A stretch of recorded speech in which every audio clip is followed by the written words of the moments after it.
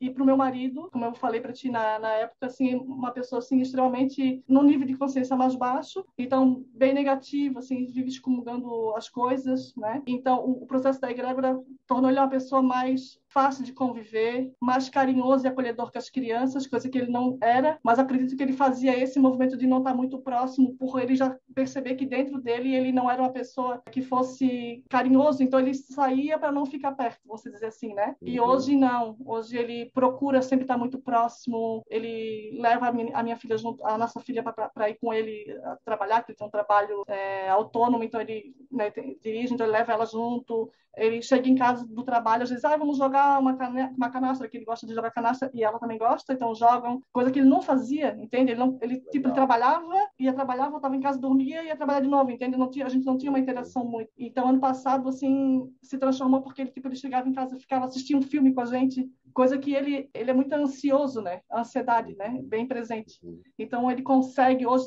sentar na mesa e conversar, ele consegue ser uma pessoa que recebe as pessoas. Até eu dizia para para alguém assim, às vezes ele convidava, ah, vamos fazer um churrasco no final de semana. Eu ainda brincava, dizia, você sabe fazer churrasco? Porque se tu fizer, se não, não adianta nem vir. Porque ele não vai assar a carne, ele vai comprar, vai deixar tudo aqui, mas ele vai sair. Vai vir na hora de comer a carne e vai sair de volta. E hoje não. Hoje ele compra, ele senta, eles conversam, entende?